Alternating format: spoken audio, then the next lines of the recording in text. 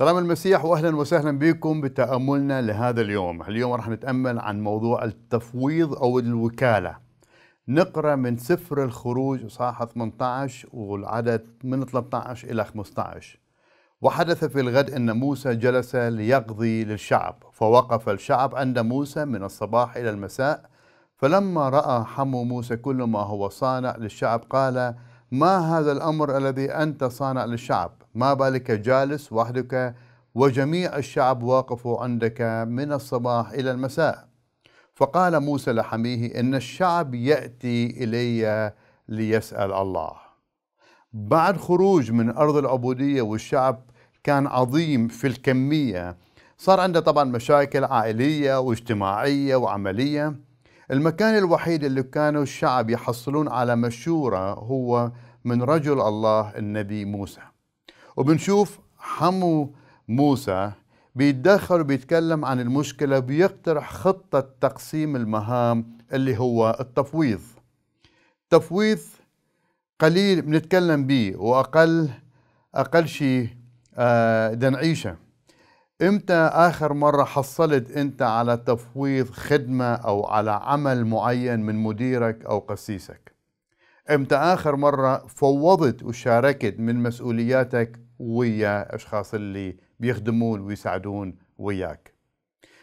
أكو نتائج سلبية على موضوع عدم التفويض. النتائج هي تأخير في الخدمة عدم إنتاج خدام وقادة جدد تعب في الخدمة ملل وتعب أشخاص الجاهزين للخدمة. بتقلص الخدمة وبتصير صغيرة. إذا نشتغل على موضوع التفويض بنشوف أنه نقدر نكتشف مهارات جديدة. بنشوف النمو وتقوية الناس اللي بنفوضهم ونعطيهم المسؤوليات الجدد. الخدمة بتكبر بتتوسع. بنكتشف أراضي جديدة للخدمة. مشاركة المسؤولية ويا أشخاص ثانيين. التفويض ما يعني الإهمال في الخدمة لكن أيضا متابعة الأشخاص اللي أنت فوضتهم. وأريد أخلي وياك سؤالين. شنو هي معوقات التفويض برأيك؟ ممكن بتشوف هذا الموضوع وبتقيسه في كنيستك أو المكان اللي بتخدم به شنو الصعوبة في التفويض؟ ليش أنت عندك صعوبة أنك تعطي المسؤولية وبتفوض أشخاص جدد؟ ورا ما يثرون تكلم مع نبي الله موسى وعلمه على التفويض النتائج كانت جيدة جدا. وبعدين الشعب حصل على على على حلول مختلفة وكان السبب بركة ونمو لكل الشعب. وهذا اليوم محتاجينه بكنائسنا.